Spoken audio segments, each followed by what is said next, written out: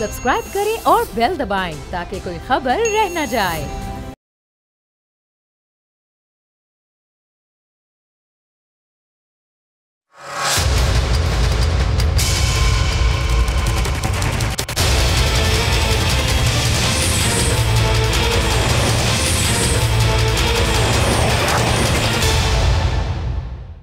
बिस्मिल्लाहिर्रहमानिर्रहीम अस्सलाम वालेकुम मैं हूँ जैस्मीन मंजूर और आप देख रहे हैं प्रोग्राम बस बहुत हो गया।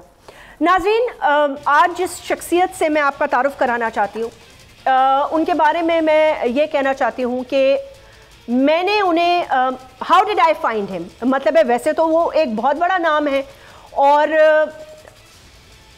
मैं सर्च करते हुए डिफरेंट यू नो यूट्यूब पे डिफरेंट सोशल फोरम्स पे, इंसान डिफरेंट डिफरेंट चीज़ें सुनता है तो एक दिन मैं सर्च कर रही थी one of the social engines तो मुझे एक शख्सियत की गुफ्तु सुनाई थी पहले तो मुझे लगा कि थोड़े से एग्रेसिव हैं फिर मैंने सोचा कुछ सुनती हूँ ये क्या कह रहे हैं। एक बड़ा लेक्चर हॉल था और बहुत सारे यूथ स्टूडेंट्स थे जिनसे वो बात कर रहे थे। एंड पाकिस्तान में यूथ से बात करना कितना मुश्किल है ये मुझे uh, इस शख्सियत को सुनते हुए समझ में आया। क्योंकि ज़ाहिर है हमारा प्रोफेशन थोड़ा डिफरेंट है करंट अफेयर्स हैं सियासी लोगों से ज़्यादा मुलाकात रहती है, लेकिन इनसे मुझे मिलने का भी बहुत शौक था और इनसे मुझे बात करने का भी बहुत शौक है because I am really impressed by him Sahil Adeem sahab he is a motivational speaker और उसके साथ साथ मैं ये कहना चाहूँगी कि बहुत बड़े पैमाने पर मतलब ये जो काम कर रहे हैं, वो एक ऐसा काम है कि मुश्किल काम है। It's a very difficult job इस मुल्क में ऐसे इश्यूज़ पर बात करना रिलीजन पर, उसके साथ साथ यू नो स्कॉलरली गुफ्तगु मोटिवेशनल गुफ्तगु बिहेवियर पर साइकोलॉजी पर, और क्योंकि हम कहते हैं कि पाकिस्तान में ज़्यादातर यूथ है और यही यूथ जो है, वो आगे चलकर बहुत बड़े बड़े काम करेगी। वो क्या काम होंगे, उसमें यकीनन साहिल अदीम साहब जो हैं, एक बहुत इंपॉर्टेंट रोल प्ले करने वाले हैं। साहिल भाई वालेकुम and welcome to the show thank you for having me सबसे पहले तो मैं आपसे ये पूछना चाहूँगी दो के सबको पता है लोगों को पता है, जो आपको फॉलो करते हैं, जो आपको सुनते हैं। तो मेरा सबसे पहला क्वेश्चन तो ये है कि आपने यूथ को पाकिस्तान की यूनिवर्सिटीज़ में दीगर जगह पे इस पर्टिकुलर जॉनरे को आपने क्यों टारगेट किया? या मतलब टारगेट से मतलब क्यों फोकस किया? क्या रीज़न है उसकी? I wish more people ask me this question मैं आपको बताता हूँ। जब आपने बड़ी चेंज लेके आनी होती है तो आप अगले अगले वक्त को देखते हैं आने वाले वक्त को। और मैं वो क्लीशे एक जुमला नहीं बोलूँगा कि वो यूथ हमारा फ्यूचर है तो मैं इसके पीछे जो साइंस है वो मैं थोड़ी सी बता देता हूँ अगले थर्टी सेकेंड्स के अंदर। जी ज़रूर। कि जब भी आप किसी भी ईरा को चेंज करना चाहते हो जो कि मेरा लाइफ का पर्पज़ है मेरे मेरे पास और कोई ज़्यादा वक्त तो है नहीं तो जब हम ईरा ऑफ़ थाट को चेंज करने का एक मिशन लेके चल रहे हों। जो कि हम हम श्योर हर कोई एक हर मैं अपने आप को जी अकल तो नहीं कहूँगा मगर किसी बंदे को भी थोड़ी सी कॉमन सेंस भी हो तो उसको पता चल जाता है कि हमारा जो इस वक्त का प्रिवेलेंट थाट मॉडल है वो उसके अंदर इतने फ्रैक्चर्स हैं कि अगर वो अगर विरसे में बच्चों को दे दिया तो उन्होंने तो और बढ़ा बढ़ा देना है उन फ्रैक्चर्स को। तो जब आप किसी भी एक ईरा को आ, का स्लाइस लेते हैं तो आपको आ, वो तीन नस्लें चाहिए होती हैं वो दादा की वो बाप की और पोते की कि जिसके थ्रू आप दादाजी के किए गए तमाम तर कारनामों को मैं तंजन कह रहा हूँ। हम्म। कि जो मामला जो उन्होंने ख़राब किए हैं सोच में वो बाप तक तो चले जाएँ मगर पोते तक ना जाएँ। तो हम बाप को वो ताकत देते हैं कि आप क्रिटिकल थिंकिंग करके चैलेंज करेंगे जो पहले चलता आ रहा है उसको रोकें। सो so, क्योंकि एक ख़ास उम्र के बाद इंसान की अपनी एक एरोगेंस होती है एक मोमेंटम होता है फिर ठीक भी होती है कि अब मैं कौन बदलेगा इस चीज़ को which is very normal and natural in older people तो हमने सबसे पहले तो स्टेटिस्टिकल एनालिसिस किया मेरी टीम ने कि आप सबसे पहले तो आ, उन बच्चों को पकड़ें कि जिनको जिन तक अभी ये रेडिएशन नहीं आई हुई उस फ्रैक्चर्ड थाट प्रोसेस की। कि जिसके थ्रू हम इन तमाम तर स्टैंडर्ड्स को सही मान चुके हैं जिनके बाद बाद हम बार बार पिट रहे हैं दुनिया में पसपा और रसवा हो रहे हैं। तो I started going to the grand son before any actually I went to the son पहले मैं कॉरपोरेट में आ, बड़ी कोशिश की है। मैंने फिर पब्लिक फोरम्स के ऊपर बहुत कोशिश की। But I was getting a of resistance और वो रेजिस्टेंस कोई रैशनल आर्ग्यूमेंटेशन बेस नहीं थी। बस वो हर धर्मी की बेस पे थी जो कि बायसनेस के अंदर होती है। जो कि कोई बात नहीं आती है हर सोसाइटी में होती है वो ब्राज़ील हो अमेरिका हो चाइना हो या पाकिस्तान हो। सो so, मैंने सबसे पहले उस ईरा ऑफ़ थाट को अगले सौ साल का जो प्लान हमने बनाया है उसमें ये जो इस वक्त का यूथ है इनको बाप बनने से पहले पहले वो चैलेंज क्रिएट करना सिखाना है कि इससे पहले कि आपके बच्चे हों आप अम्मी बने अबू बने, उससे पहले आप अपनी किए गए अम्मी और अबू के जो कारनामे हैं, उनको क्रिटिकली एनालाइज कर सकें कि वो साइकिल रिपीट ना हो। दोबारा से नवाज़ शरीफ, इमरान खान ना आए हमारे ऊपर। Definition of success and failure को चेंज करें और ट्रू आइडेंटिटी को अपने पास क्रिटिकली एवेल्यूएट करें। मैं ये नहीं कहता क्या कि यूथ को कि मैं सही हूँ। मैं ये कहता हूँ कि आप चेक करें कौन से, क्या सही है। कौन सही है गलत है, खुद ही पता चल जाएगा। So we had to approach the जब आपने uh, बीमारी की रोकथाम करनी होती है तो सबसे पहले उन लोगों को अलग करते हैं जिन तक अभी वायरस नहीं गया हुआ। तो इसलिए मैं यूथ तक गया हूँ। जिन तक वायरस गया उनकी अलग से एक थेरेपी और मेडिकेशन है। वो आ, uh, वो एक स्लो प्रोसेस होता है। भाई एक बात बताइएगा जब आप यूथ के पास जाते हैं और जब आपने जाना शुरू किया ऑब्वियसली अब, अब तो आपकी बाकायदा क्लासेस होती हैं लेक्चर्स होते हैं एज अ मोटिवेशनल स्पीकर आपकी बहुत ज़्यादा मुझे लगता है शुरू में जैसे आपने कहा रेजिस्टेंस थी और एक थॉट प्रोसेस को ब्रेक करना बहुत मुश्किल होता है स्पेशली हमारे जैसे माशरे में ना जहाँ पे बार बार ये बताया जाता है कि ये टैबू है ये टैबू है ये टैबू है तो सबसे ज़्यादा आपको रेजिस्टेंस किससे मिला? यूथ इट से सुनने वालों से या उनसे आपको रेजिस्टेंस मिला जो सुनने वालों की एक तरबियत कर रहे हैं खास तरीके से एक तरबियत की जा रही है। आई थिंक मुझे लगता है बाय डिफ़ॉल्ट भी हो रही है यहाँ क्योंकि हमारे यहाँ इल्म हासिल करना इल्म को सीखना इल्म को समझना आ, उसके अंदर काफ़ी सारी आ, वो कहते हैं ना डूज एंड डोंट्स लगा दी गए हैं। तो जो सेल्फ एजुकेशन का एक पर्पज़ है वो काफ़ी हद तक डिफीट हो गया है। तो आपको कहाँ से रेजिस्टेंस मिला? भाई जो सामने का झूठ है उसको तो झूठ कहना शुरू करें। ठीक है? सच क्या है कि हम तको दो करते रहेंगे पहले मगर जो इतना obvious lie and you know deceit है let's call it you know where it is call a spade a spade तो जिन लोगों ने uh, सबसे ज़्यादा रेजिस्टेंस दिया वो वो नहीं है जिन्होंने बिना रखी है दो नंबरी की। सबसे ज़्यादा रेजिस्टेंस वो लोग देते हैं जो दो नंबरी को ब्लाइंड फॉलो करते हैं जिनके अंदर क्रिटिकल थिंकिंग की स्किल नहीं डेवलप हुई होती। और वो फिर एक ख़ास एज के अंदर फोर्टीज़ के अंदर से ट्रांजिट कर रहे होते हैं फिफ्टीज़ का और सिक्सटीज़ का। वो असल में सबसे ज़्यादा एनर्जी जोन में होते हैं चाहे वो एक नंबरी की एनर्जी हो या दो नंबरी की हो क्योंकि उनकी एज इस तरह की होती है जिसमें वो अपने स्टेटस को को नहीं तोड़ सकते because the ego is attach to it जो उधेड़ उम्र के लोग होते हैं जिनको शूर आ गया होता है वो अगर हटधर्मी करें भी ना तो उसके पीछे उनकी रेजिस्टेंस की वो पावर नहीं होती बिकॉज़ उनकी एनर्जी नहीं होती। All they can do is sit down talk तो रेजिस्टेंस हमेशा आपको फोर्टीज़ और फिफ्टीज़ और सिक्सटीज़ के जोन के अंदर से आता है। सेवेंटी एटी नाइन्टी के जो रेजिस्टेंस देते भी हैं तो वो एक इतना कुछ दूधमंद नहीं होता।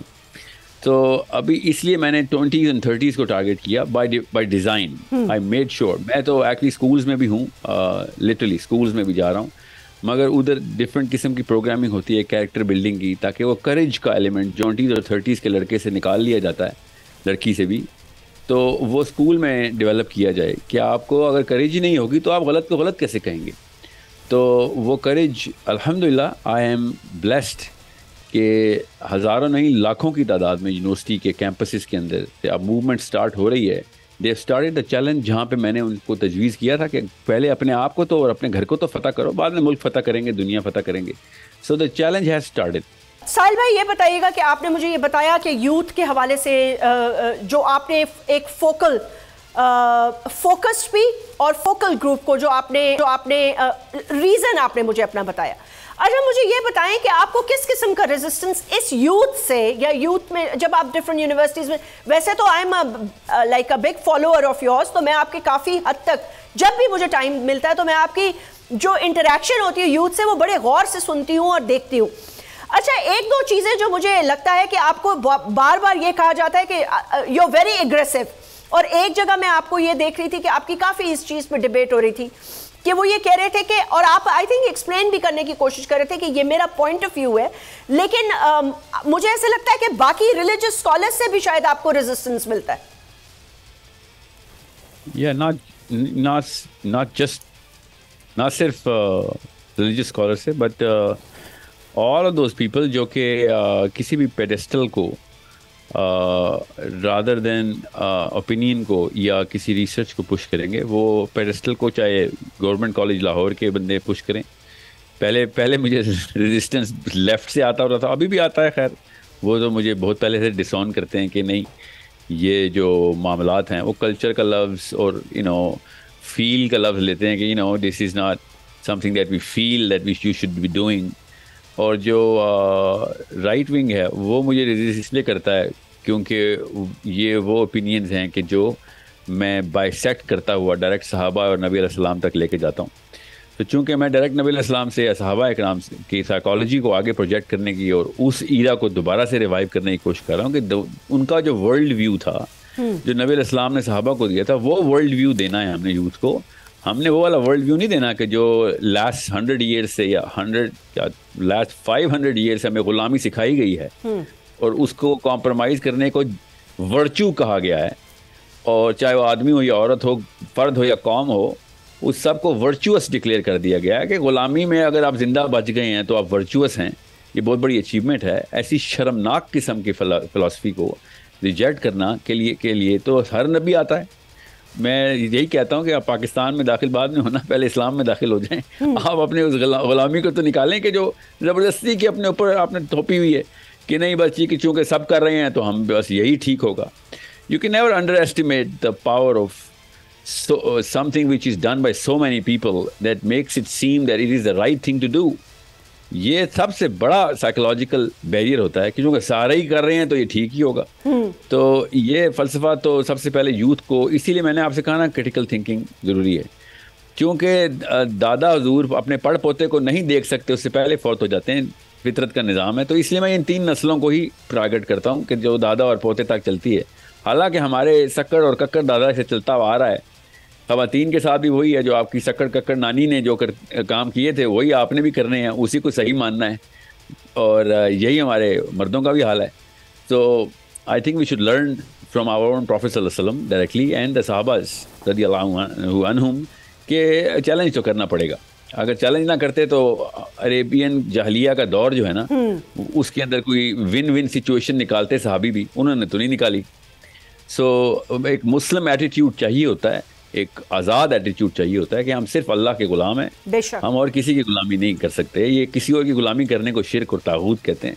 तो ये यूथ को समझ आ रही है। मुझे अल्हम्दुलिल्लाह यू विल बी अमेज कि मुझे वन परसेंट से भी कम रेजिस्टेंस आता है यूथ में। In the in the twenties and thirties के जो लड़के और specially girls they are resonating और मुझे सिर्फ़ एक ही जुमला बोला जाता है ये अल्लाह की तरफ़ से होता है मेरा कोई कारनामा नहीं है इसमें। मैं आपको फिर बता रहा हूँ ये सिर्फ़ अल्लाह की तरफ़ से होता है। I only get that one statement कि this is something which we already had हम पहले से ही ये सोचते थे मगर अम्मा अब्बा ने इसके ऊपर ढक्कन लगाने के थे कज़न ने चाचा ने मामा लगाए हुए थे। आपकी इन अल्फाज ने हमारी को, हमारे लिए कोई नई बात नहीं है जो आप कर रहे हैं। हम्म। हमारी इस दबी हुई सोच को आपने चैनल कर दिया। आज़ाद कर दिया। तो ये मैं सोच को आज़ाद की आवाज़ को बता रहा हूँ। जी हाँ इस्लाम फितरत की आवाज़ है मैं सिर्फ़ इस्लाम की आवाज़ लगाता हूँ। मैं किसी और फलसफे को तो यू नो सेकंड टू इस्लाम नहीं लेके आता। इस्लाम के अलावा अगर सोल्यूशन होता तो अल्लाह ताला भी बता रहे थे कि हाँ भाई एक ऑप्शन इस्लाम भी है कोई और भी देख लो। अल्लाह ने तो ये नहीं कहा। अल्लाह ने कहा भाई कोई और होती तो मैं दे देता। बस यही है मेरा इन इन दीन आइंद इस्लाम। मेरे पास इस्लाम ही है और यही तुम्हारे लिए काफ़ी है। अच्छा साहिल भाई मैं आपसे ये बात पूछना चाहती हूँ। मुझे ये बताइए कि बहसीत मुआशरा और आ, मुझे तो खैर ज़ाती तौर पर पता है आ, और मैं ये बहुत दफ़ा फील भी करती हूँ और इसमें मेरी अपनी ज़ात भी है शामिल है। क्योंकि जब मैं माशरे की बात करती हूँ सोसाइटी की बात करती हूँ तो उसमें मैं कोई एलियन नहीं हूँ कि मैं अकेली खड़ी हूँ और दूरबीन से दूर से मैं सिर्फ़ पाकिस्तान के माशरे को देख रही हूँ। या आप दूरबीन से दूर से हम सब मुआरे का हिस्सा है ना? तो हमारे छोटे छोटे काम हमारी छोटी छोटी बातें सब कुछ मिलकर एक माशरे की तहजीब को बनाते हैं। मुझे ये समझ में नहीं आ रहा। सोशल मीडिया से पे भी मैं आप सेकंड क्वेश्चन मैं उस पर करूँगी। मेरे नज़दीक वो बहुत एक अहम क्वेश्चन है। हम इतनी पस्तगी का शिकार क्यों होते जा रहे हैं? या मैं पेसिमिस्टिक हूँ, मुझे नहीं पता। या मुझे ऐसे लगता है। मतलब हमें बिल्कुल ख्याल नहीं होता छोटी छोटी चीज़ों का, जैसे किसी एंबुलेंस को रास्ता देना है बिला वजह एक दूसरे के ऊपर गाड़ियाँ नहीं चढ़ानी, थोड़ा अपने अंदर सब्र पैदा करना है दूसरे की बात को भी सुनना है। आप उसकी राय उसकी इख्तलाफ कर सकते हैं आप न, आप आप डिसएग्री कर सकते हैं आप उसको माने ना लेकिन उस इंसान को आप इतनी अहमियत तो देना कि आप उसकी बात सुनने के लिए अपने अंदर सब्र पैदा करें। सो इन अ नट शेल मुझे ऐसे लगता है कि हमारे अंदर से एक चीज़ जो बुनियादी तौर पर सब्र का लफ्ज इस्तेमाल हुआ है वो खत्म होता जा रहा है। या इसमें तो कोई शक नहीं। बस याद रखिएगा जो तीन स्लाइसिस होते हैं इंसान की उम्र ऑन एवरेज सत्तर साल अस्सी साल की है इस वक्त तो उसको तीन स्लाइसिस में आप रैशनली स्प्लिट कर सकते हैं। पहले पंद्रह और अठारह साल तक का जो होता है ना पंद्रह साल क्रिटिकल हैं अठारहवें साल तक तो खैर देर हो चुकी होती है। वो एक स्लाइस है और सोलहवें साल सत्रहवें से ले कर चालीसवें पैंतालीस साल तक ये दूसरा स्लाइस है। सो so, अगर आपका ये जो दूसरा स्लाइस है ये भी अगर पोल्यूट हो चुका है तो फिर नीचे वाले बच्चे वही इशारे तोड़ा करेंगे वही बात काटा करेंगे चोरी चकारी में कोई जस्टिफिकेशन बल्कि लेके आएँगे आ, और इसको कूल समझेंगे। यू नो जो भी आप देख रही हैं जो आपने मामला बताए वो तो आपने टिप ऑफ़ द आइसबर्ग बताए हैं। सही बात है। अंदर तो बहुत ही बहुत ही घिनौने किस्म के क्राइम भी हम जस्टिफाई कर चुके हैं। तो ये जो सेकंड स्लाइस है ना जो 16 टू 46 का जो स्लाइस है ये है जिम्मेदार होता है क्योंकि जो पिछले वालों ने कर दिया होता है उसको धोने का टाइम आपको चालीसवें साल तक मिल जाता है। हर एक को पता होता है मेरे अब्बा जी बेशक मैं उनकी इज़्ज़त करता हूँ मगर उनके काफ़ी सारे कारनामों की अंदर काले और सफ़ेद में से मैं फ़र्क कर सकता हूँ। हम्म। अम्मी की भी और अबू की भी। इतनी उम्र हो जाती है थर्टी फाइव फोर्टी फाइव के बीच में। तो आप उधर एक स्टॉप लगा सकते हैं। अगर आपने ना लगाया तो फिर आप अगली नस्ल के ज़िम्मेदार आप होते हैं। सो so, ये ये एक ऐसा मामला है कि जो आप देखेंगे बहसीत कौम हमारा जो ये वाला जो सेकेंडरी स्लाइस है ना इसको प्राइमरी जोन में जो जिसको हम समझते हैं वो असल में करियर के अंदर भी प्रोग्रेस करते हैं। आ, उनकी यू नो एक एक मोमेंटम बना हुआ होता है। उनके बाल अभी काले होते हैं तो नीचे वाला यूथ उनसे रिलेट कर लेता है। उन वो उतने ही वोक होते हैं इसलिए उनकी ग्रामर भी वैसी होती है जो कि 18 साल 15 साल वाले को अट्रैक्ट कर जाती है। 80 साल के बंदे की ना ग्रामर वैसी होती है ना ही उसके सफ़ेद बालों की वजह से उसके करियर से कोई रिलेट करता है उसको। Okay so you need to understand it is a psychological phenomena अगर आपने एक माशरे में कैरेक्टर बिल्ड करना है हम्म। तो आपको ये ये बीच वाले स्लाइस को पूरी तरीके से दोनों कंधों को पकड़ के झंझोड़ना होगा। थोड़ा शोर तो मचेगा बिकॉज़ नींद जितनी गहरी हो जगाने वाले पे उतना ही गुस्सा आता है। तो आपको ये वाला एग्रेशन तो दिखाना पड़ेगा। तो इसीलिए मैं भी इन्हीं लोगों के लिए अपने तमाम लेक्चर्स प्रिपेयर करता हूँ। I do not talk to the sixty year old even though they are coming in hundreds and thousands now women specially women because sure तो ज़ाहिर है उसल में तो उनकी औज शूर की औज तो साठ सत्तर साल में आती है ना आपको तो वो समझ तो लेते हैं। मगर uh, मेरा प्राइम जोन जो है ना वो सेवनटीन टू फोर्टी सेवन का है जिसके अंदर अगर चेंज आ गई तो ये दो नस्लों के अंदर अंदर पाकिस्तान स्कैंडिनेविया से बेहतर अखलाकियात दिखा सकता है। आ, और अगर इस्लाम का तड़का लग गया और बेस इस्लाम पे लगा दी तो फिर तो एक नस्ल में भी लग सकता है। बस हमें राइट इंस्ट्रूमेंटेशन चाहिए अपने वर्बिज के अंदर अपने फ्रेज़ के अंदर। और वो पेडिस्टल्स क्रिएट करने होते हैं कि जिनको पहले से ही राइटली इस्टेब्लिश किया गया। जैसे नबी इस्लाम की इसमत नबी इस्लाम की की जो ऑनर है वो पहले से इस्टेब्लिश्ड है माशाल्लाह। हमारे पास एक एक आइडेंटिटी है इस्लाम की। कुरान पाक है, एक एक घर में रखवाया है। जैसे भी थे हमारे बुज़ुर्ग कुरान हम तक पहुँचा गए थे कि यार ये लोग अब हमें नहीं आता, मगर कुरान की वैल्यू को कम करके नहीं किसी ने दिया। सो ये दो, तीन ऐसे, चार ऐसे इंस्ट्रूमेंटेशन हैं जो हमारे कल्चर में एज अ गिफ्ट अल्लाह ताला ने हम तक पहुँचा दी। कुछ ऐसे दो नंबरियाँ हैं जो कि पाकिस्तान के और इंडिया के और कल्चर के नाम के ऊपर भी उन्होंने दी जिसकी वजह से कुरान को हमने ढांपने को फ़र्ज़ समझ लिया। हम्म। तो वो कल्चर को तोड़ते हुए आपने कुरान तक जाना है और अपने नबी सलाम तक जाना है। तो अच्छा, जिस नस्ल ने भी कुरान की यूटिलिटी पकड़ ली वो अखलाकियात तो छोटा सा अचीवमेंट है जो कि वो करेंगे। बेशक लेकिन कम से कम यहाँ से हम शुरू तो करें ना। अभी तो हमें आई थिंक हम हम उस उस उस स्टेप से भी बहुत दूर हो गए हैं जिस स्टेप पे और इसके बहुत सारे वाकयात हैं मैं मैंने मैंने जो देखे हैं और मैं कोट कर सकती हूँ। पेरेंट्स के हवाले से भी आपका एक बड़ा वाजे और मैंने अक्सर देखा है कि आपने बहुत ज़्यादा उनको आप क्रिटिकली डिस्कस करते हैं एक छोटा सा वक्फा लेते हैं और उसके बाद उस क्रिटिकल डिस्कशन के I am sure positive points भी होते हैं, लेकिन आप उसको किस नज़रिए से और किस जबते से पहुँचा रहे हैं यूथ पर? इस पर बात करेंगे right after this break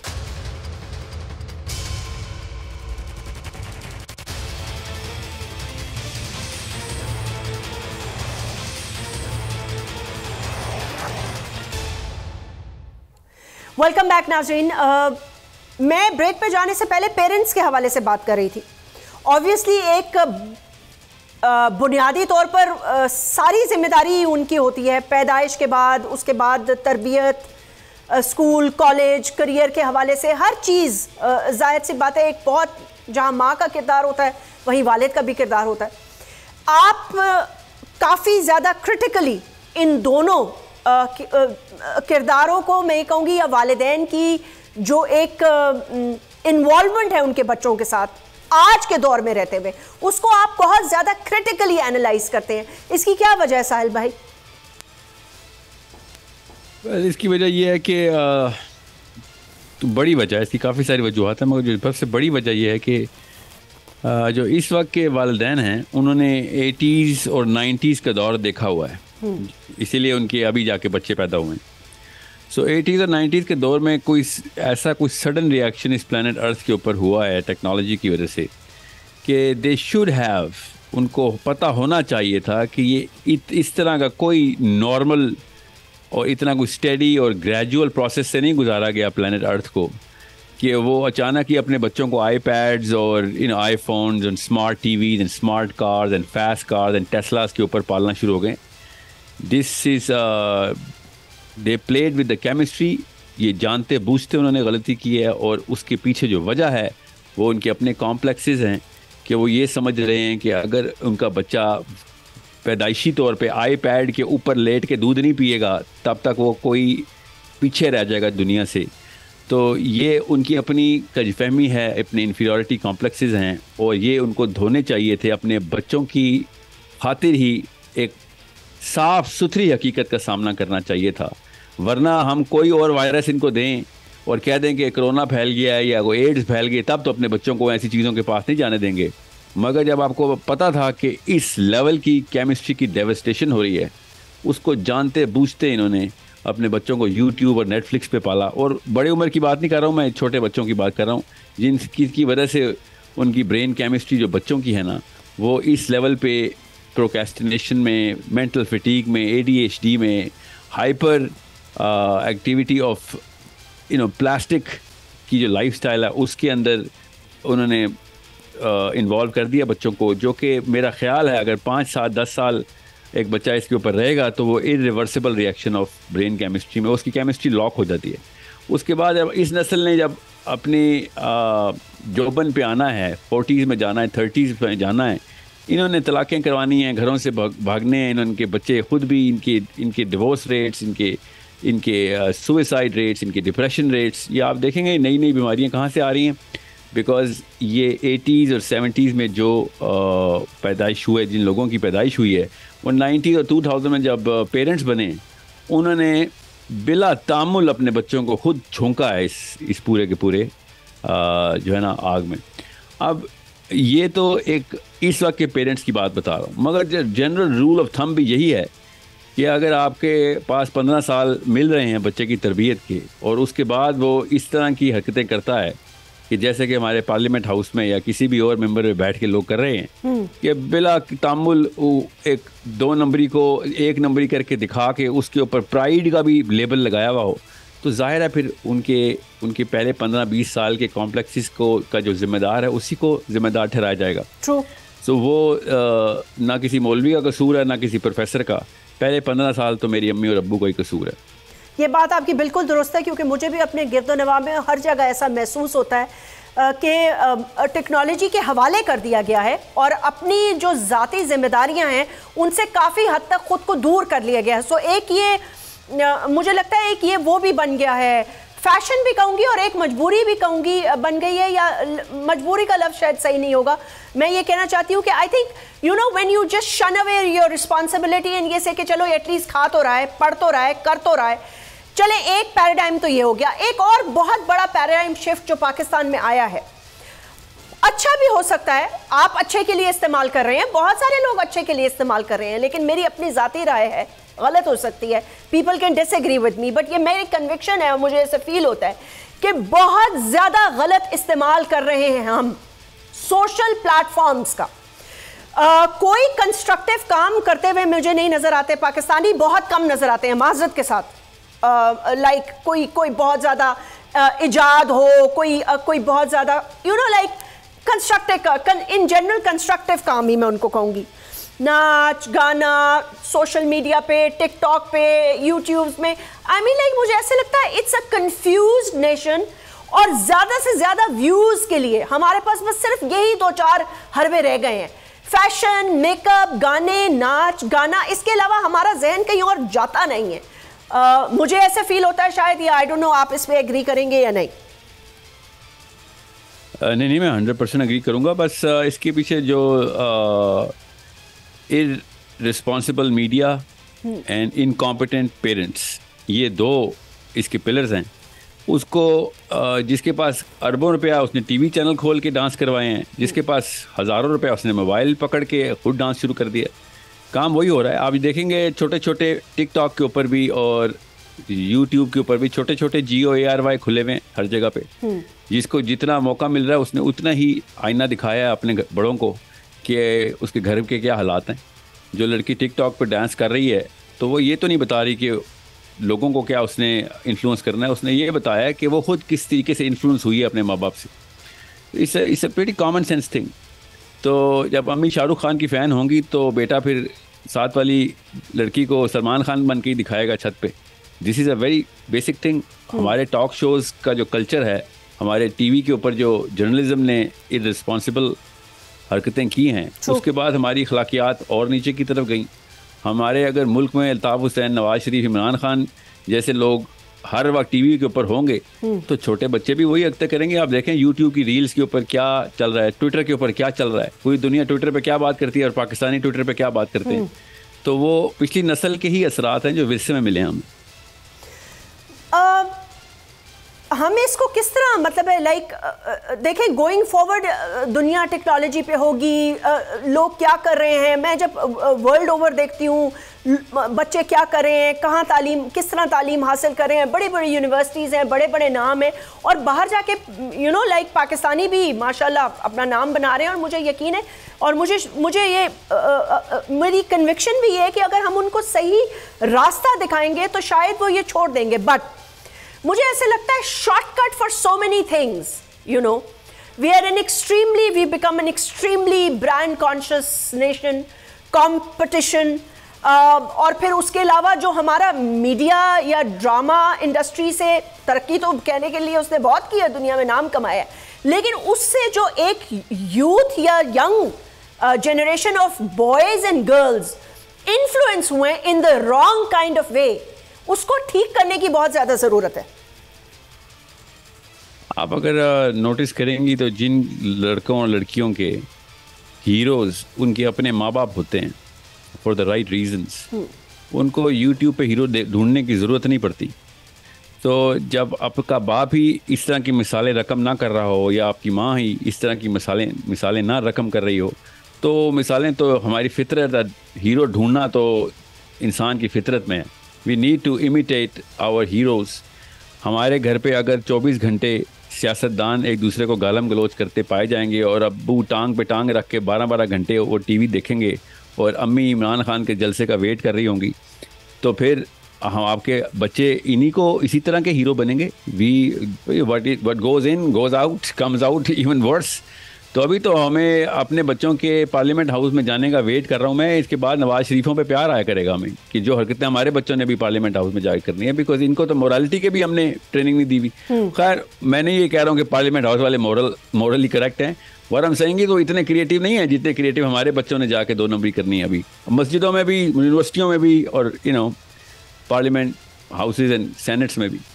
अच्छा साहिल भाई when you go to these universities आप इन एक एक बड़ा जनरल क्वेश्चन है मतलब है जब इंसान को अपने मॉरल्स हाई करने होते हैं या अपने मॉरल्स के लिए मैं ये कहती हूँ कि एक एक कहते हैं ना इंसान के अंदर भी एक कॉन्शियस होता है कि आपका वो कॉन्शियस क्लियर है। आ, आपके आप आपके और रोल मॉडल्स कौन है? आप किसको देखते हैं किसको सुनते हैं किसको सुनना पसंद करते हैं और उससे क्या सीखते हैं?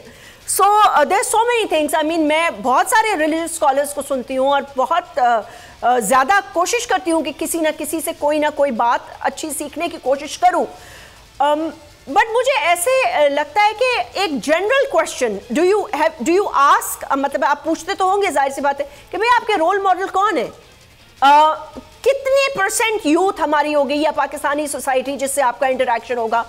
उनको uh, uh, उनको पूरी history and biography of the of the prophets सल्लल्लाहु अलैहि वसल्लम including other prophets peace be upon them सहाबा कराम उस वक्त की uh, जो खातन थी जिन्होंने जंगों में भी हिस्से लिए बहुत कुछ किया उन्होंने उस उस उस वक्त के हिसाब से दे डिड वंडर्स तो कितने लोग होंगे जिनको इनके बारे में पता होगा? नहीं पता। बिल्कुल भी नहीं पता। इफ़ एनीथिंग काफ़ी चीज़ों पे तो पर्दा भी डाला जाता है। इस्लाम की अपनी हिस्ट्री पे मुसलमान खुद पर्दा डालते हैं बिकॉज़ जो localize cultural culturally correct definition of Islam देता आया है यहाँ पे पाकिस्तानी अपने बच्चों को पिछली तीन नस्लों से, वो चैलेंज हो जाता है। अगर कोई सिंपल से दो तीन इंस्ट्रूमेंट्स भी ले लें आप, किसी भी एक सहाबी को, आप यहाँ पे इमिटेट करने की कोशिश करें और सिमुलेट करें कि मैंने उमर ख़त्ताब बनना है या मैंने हुसैन अलैहिस्सलाम बनना है तो उसके अपने घर वालों के सारे फ़लसफ़े मसमार हो जाते हैं। सो दे मेक श्योर कि हमारी बच्चियाँ स्पेशली लड़कियाँ, वो नुसेबा ना बन सकें। और जब कोई कहा जाए कि नुसेबा ने इतनी सारी लड़ाइयाँ लड़ी हैं, और उमर अबू बकर सिद्दीक के रिद के गजबे में शहीद हुई जाके तो बेसिक आर्कीटाइप टूट जाती है। वो आर्कीटाइप इन्होंने सैकड़ों साल लगा के क्रिएट की है ताकि लड़की सोच ना सके, कोई काम ना कर सके। लड़का भी जो भी आपके ऊपर बादशाह आए, चाहे डंडा लेके आए, चाहे कुरान लेके आए, आपने उसको सजदा करने की फ़िलासफ़ी अगर दे रहे हों तो हुसैन सलाम तो नहीं हज़म होंगे ना ऐसे ऐसे पिछली दो तीन नस्लों के फ़लसफ़े के अंदर। तो जैसे ही बच्चा हुसैन सलाम की बात करता है माँ बाप को उसी वक्त छक्के छूट जाते हैं कि भाई ये तो मसला हो जाएगा, क्योंकि वो कॉम्प्रोमाइज साइकोलॉजी को वर्चुअस समझते हैं। वो गुलामाना अदाओं को यू नो एक ख़ास किस्म का पेडेस्टल समझते हैं। और वो ये समझते हैं कि बस हमारे बच्चे हज़ार हज़ार साल ज़िंदा रहें बस और चाहे जितना मर्ज़ी जलील होकर ज़िंदा रहें बस हज़ार साल ज़िंदा रहें। तो ऐसे डरपोक माँ बाप के बच्चों ने फिर क्या Islam is a pedestal which requires a lot of courage किसी और फ़लसफे में और मैं कंपेरेटिव फ़िलासफ़ी का स्टूडेंट हूँ मैं आपको बता रहा हूँ किसी और फ़लसफे में इतनी करेज की रिक्वायरमेंट नहीं है जितनी इस्लाम के फलसफे में है तो ना लड़की ना लड़का इस तरफ़ नहीं जाएगा इसको ट्रेन करना पड़ता है इस्लाम की तरफ़। ऐसे नहीं कोई खुद ही आ जाए क्योंकि इस्लाम में कोई मुफ़्त तोहफे मिलते नहीं। हम्म। इस्लाम में सारा कुछ कुर्बान करना पड़ जाता है। तो सबसे पहले तो गैरत पे कोई कॉम्प्रोमाइज़ नहीं है। पाकिस्तान में गैरत सबसे पहले आप सबसे पहले गैरत बेचते हैं ताकि आपको एक्सेप्टेंस मिल सके। ऐसे गुलामों के बच्चों ने कहाँ पे लीडरशिप सीखनी है?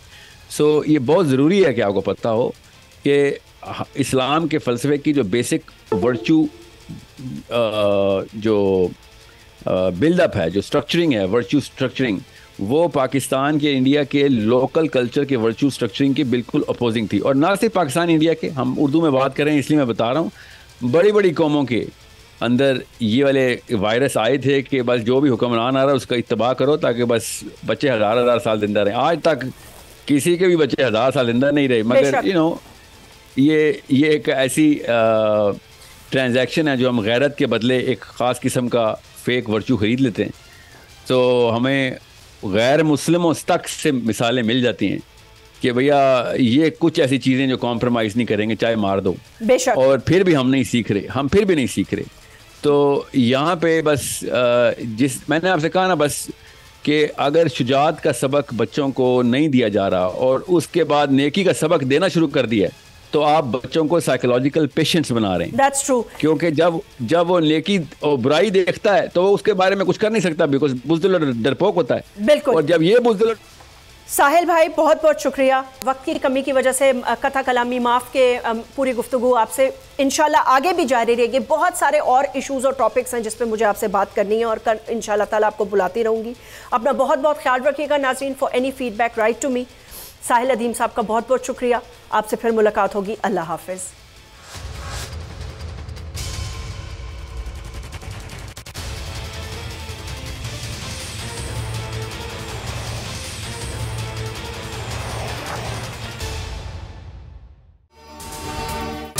अगर ये वीडियो आपको पसंद आई है तो इस चैनल को सब्सक्राइब करें और बेल आइकन को क्लिक करें। डिजिटल लोन स्कैम आवाम को कर्जों के जाल में फंसाकर लूटने वाले भेड़िए बेनकाब। बोल की काविशें बाराबर साबित हो गईं ऑनलाइन कर्ज माफिया के गिर घेरा तंग हो गया है। बोल ने दिया अपने आवाम का साथ उठाई इस स्कैम के खिलाफ आवाज़। बोल की डिजिटल लोन स्कैम के खिलाफ आगाही मुहिम की सबसे बड़ी ट्रांसमिशन उनसठ फ़ीसद आवाम ने देखी अपनी स्क्रीन पर। क्योंकि बोल है पाकिस्तान का number one news channel. Subscribe करें और बेल दबाएँ ताकि कोई खबर रह न जाए।